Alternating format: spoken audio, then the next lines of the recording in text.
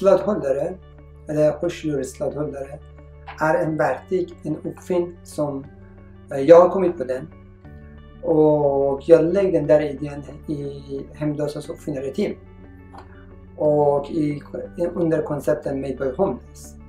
Och vi utvecklade, utvecklade den där idén och nu blev det verklig. Eh, det är jätteanvändbart för alla hörselsladen och alla sladen som finns på vägen. Och eh, de som hämtar idén i den där Medborg Homeless, eller Hemlösas uppfinnare team, de får eh, 49% eller 51% av vinsten och resten går till hemlösa. I den där idén jag gav 49% av vinsten till hemlösa och eh, 51% av vinsten kommer till mig. Och vi försöker sälja den i hela världen. Just nu vi har en um, positiv um, Eh, positiv reaktion eh, i Kanada att de vill börja sälja. Och här i Sverige vi ska börja, börja sälja också.